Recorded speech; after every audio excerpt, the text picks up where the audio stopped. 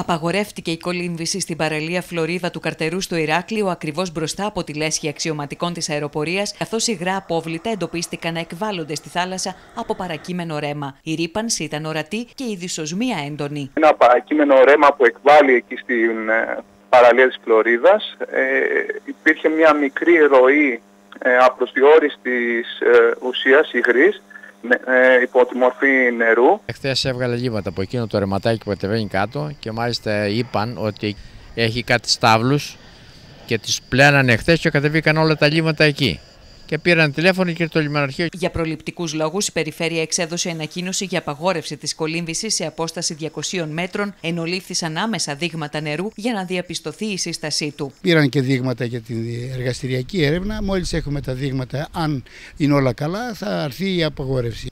Ένας κύριος που τον ρώτησα πριν από μια ώρα περίπου μου είπε ότι χυθήκαν λίματα.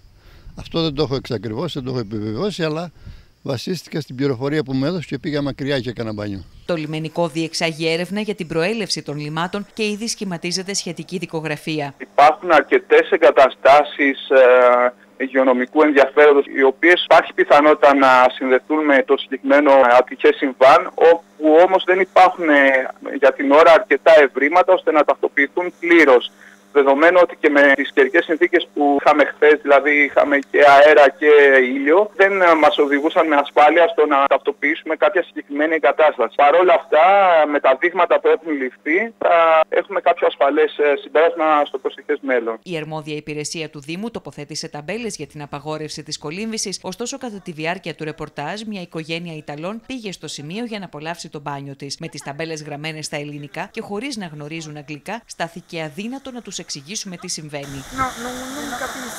Ο πουλουόμενο ξεσκόνησε τα Ιταλικά του και τους έπεισε να προχωρήσουν παρακάτω. Οι υπηρεσίες θα συνεχίσουν να λαμβάνουν δείγματα από τη θάλασσα και όταν διασφαλιστεί ότι δεν υπάρχει κίνδυνος για τη δημόσια υγεία, η παραλία θα είναι ξανά διαθέσιμη για τους λουόμενους.